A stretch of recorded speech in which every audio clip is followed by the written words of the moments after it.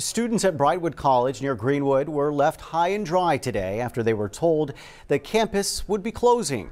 Now, what started as a normal day ended in confusion for many students. KRIS 6 News reporter Emily Hamilton spoke to several students who are trying to figure out what to do now. She joins us now live from the Brightwood College campus where the news has come as a shock. Emily? Paula, one student we spoke with told us class lectures had already begun this morning. They were even about to take a quiz when students were told to go on lunch break. And when they came back, their teacher told them the school was closing its doors. Now, according to the school's website, they award degrees in subjects like IT, legal studies, business, and nursing.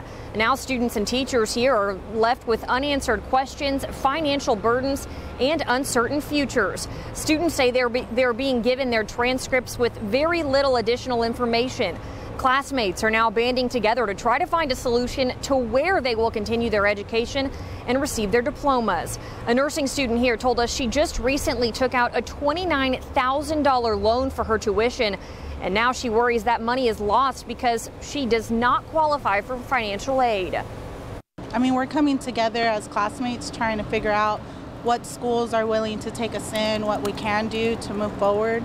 That's pretty much all we can do right now, aside from the big loss financially.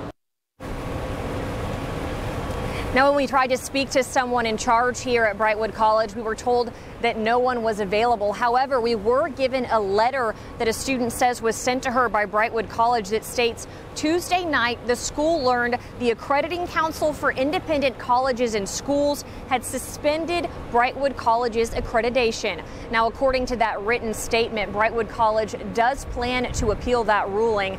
And as far as where students should go from here, we will continue to follow that story and keep students updated here on KRIS 6 News. Paula?